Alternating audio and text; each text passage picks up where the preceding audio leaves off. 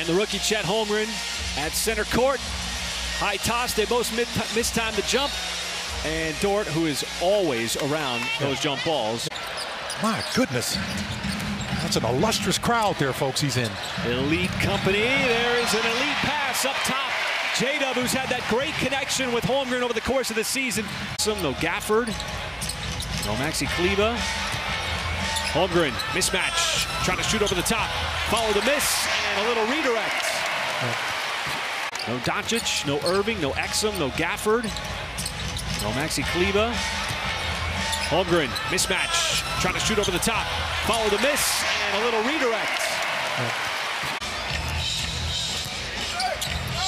And Chet Holmgren, you see that defense on display once again. Add another block to his total. Former Maverick player, Holmgren. Got it right back from Dort.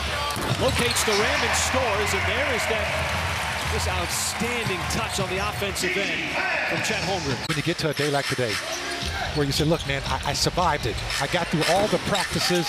I got through all the, the road games. Transition burst and a quick one by Williams, who then got tripped up by the cameraman on the baseline. As Holmgren quickly back the other way. Ships it back up top. Wallace checks the shot clock.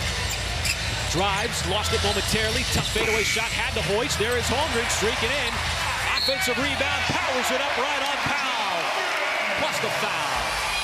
Wallace on Hardaway Jr., the veteran. Pull the trigger, no good. And Shai right